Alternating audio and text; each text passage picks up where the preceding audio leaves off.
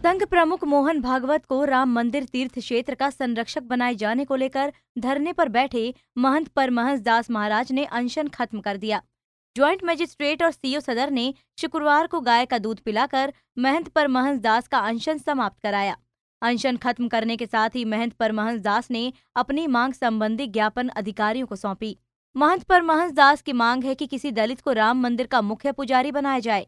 कि राम मंदिर बनने पर जो है उसके मुख्य पुजारी किसी जो है तो हरिजन को या जो सफ़ाई कर्मी हैं, उनको दिया जाए, दलित समाज के व्यक्ति को दिया जाए। जिस तरह से मोदी जी ने कुंभ, प्रयागराज कुंभ में जो है दलित समाज का पैर धो करके उनका मान बढ़ाया है, एक दलित समाज के व्यक्ति को राष्ट्रपति बना करके पहली बार दलितों का गौरव बढ़ाया है, उसी तरह से आध्यात्मिक जगत में भी जो अभी छुआछूत का वो चल रहा था कि दलित हैं, पूजा नहीं कर सकते, मंदिर में नहीं जा सकते, कहीं ना कहीं ये भाव था। ये खत्म हो जाएगा और जब राम मंदिर का मुख्य पुजारी दलित समाज का कोई व्यक्ति हो जाएगा तो मैं समझता हूँ कि ये ये बहुत बड़ा ये समाज को जोड़ने का काम होगा और तब दलित भी जो हमारे अभी कहीं हीन भावना महसूस कर रहे हैं उनके अंदर गर्व होगा कि ये राम राज्य का भारत है, ये राम राज्य की शुरुआत है। जब भगवान श्री राम केवट को गले लगा सकते हैं, सबरी का जूठा बेर खा सकते हैं तो क्या हम लोग रामलला का मुख्य पुजारी एक दलित को नहीं बना सकते हैं? और ये मोदी जी ज़रूर बनाएँगे। इसके साथ ही महंत पर महंस दास महाराज दिल्ली चुनाव के लिए बीजेपी को भी जीत का आशीर्वाद दिया।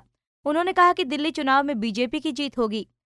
देखिए, हमारी मांग थी कि संघ प्रमुख मोहन भागवत को नवगठित जो ट्रस्ट है, उसमें उनको संरक्षक का पद दिया जाए।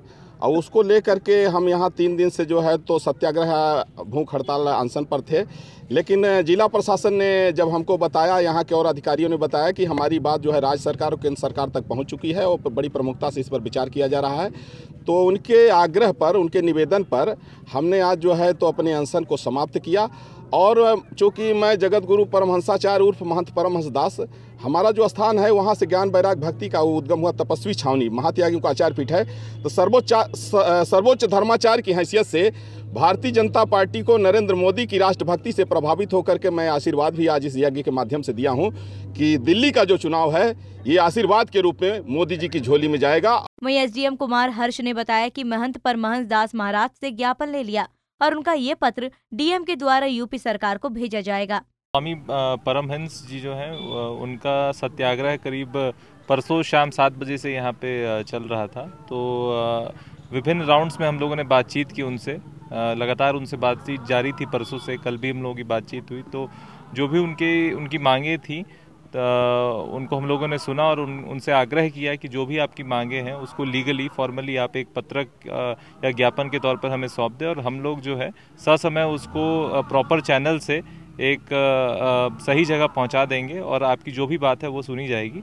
और हम लोगों का उनसे आग्रह रहा कि उनके स्वास्थ्य को देखते हुए कि भाई आप अपना जो सत्याग्रह उसे समाप्त कर दें और एक पत्रक दे के जो है, अपने जितने भी यहाँ पे आपके सपोर्टर्स हैं वो भी क्योंकि चिंतित हो रहे थे इनके स्वास्थ्य को लेके तो इसलिए आप एक, एक पत्रक दे दें और जो भी आपकी मांगे हैं वो प्रॉपर चैनल से सही माध्यम से सही जगह पर पहुँचा दी जाएँगी। आपको बता दें कि महंत परमहंस दास ने संघ प्रमुख मोहन भागवत को ट्रस्ट का संरक्षक और परमाध्यक्ष बनाए जाने की मांग को लेकर अन्य जल का त्याग कर दिया था।